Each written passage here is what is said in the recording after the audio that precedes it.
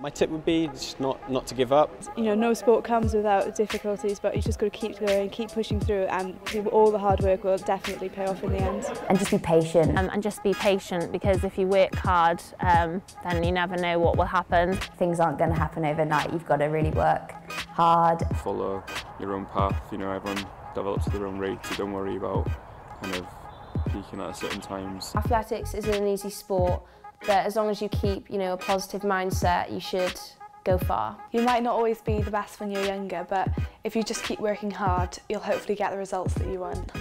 Training hard, and if things aren't going right, just to work through it and be positive.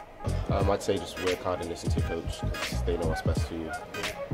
Most important tip I can ever say is what I've always gone by is just enjoy your sport and you should find success in that. Keep enjoying it. It's a, it's a tough sport when you're not enjoying yourself. So if as long as you enjoy it and keep going, that's, that's the way you're going to make it to the top.